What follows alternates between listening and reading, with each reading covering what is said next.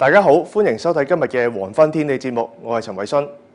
今日嘅天氣咧都係以多雲為主㗎。咁喺維港望出去咧，都見到雲層相當厚實，幾乎見唔到陽光。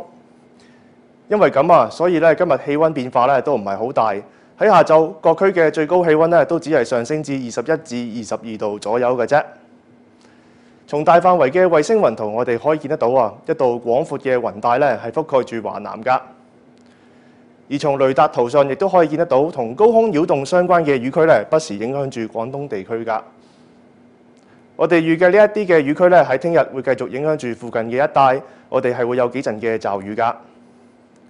咁所以今晚到聽日嘅詳細天氣預測，會係多雲，有幾陣驟雨，部分地區能見度會頗低，氣温介乎二十至二十三度。風方面咧係會吹和緩嘅偏東風。初時離岸風勢係會間中清勁㗎。